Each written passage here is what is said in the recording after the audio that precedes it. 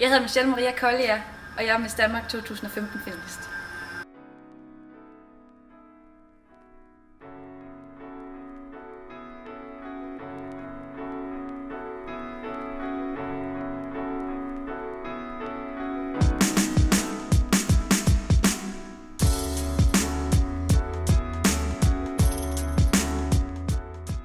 Jeg tror rigtig mange går rundt i hverdagen og har det godt med deres liv sådan generelt set.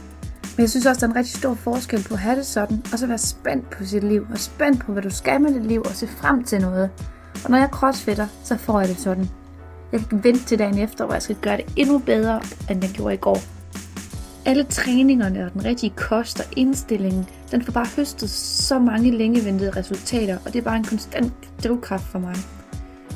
Jeg synes, det gode ved CrossFit, det er, at det handler ikke om at se på, hvem der er slankest eller stærkest, men det mest imponerende er at være den med mest hjerte for det.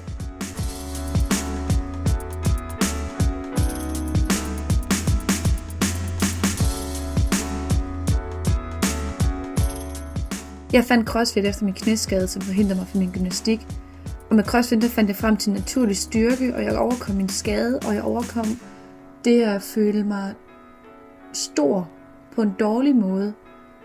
Og nu er jeg ligeglad med vægten, jeg er ligeglad med, hvad den siger, men jeg er bare tilfreds med det, jeg ser ind i spejlet.